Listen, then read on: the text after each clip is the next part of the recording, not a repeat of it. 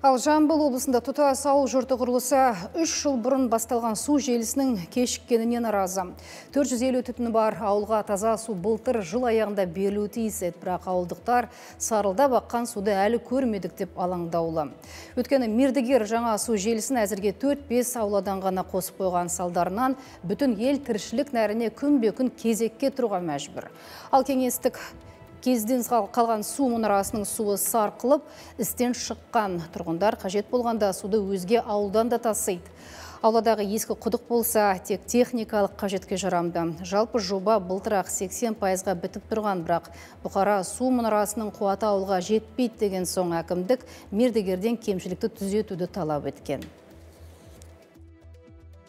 бұрын осындай мұнара болған осындай жаңа елу метрге елу кубқа. Ауыл үлкен үлкен өте үлкен ауыл объемы. Мына объем біздің ауылға жетпейді. Мен тағы айтамын себебі біздің ауылдың жар, жарты ауыл сусыз қалады келешекте. Екеуін қой десек қоймай жатыр. Себебі айтады бізге ақшамыз жетпейді үйтпейді бүйтпейді дейді.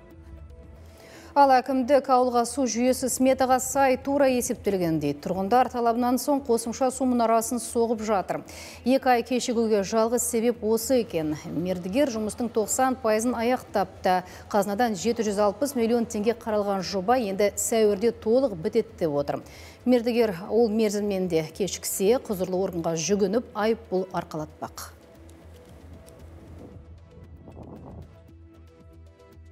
Шу ауданы бойынша 76 пайыздық жаңағы сумен қамтылу жағдайымыз бар.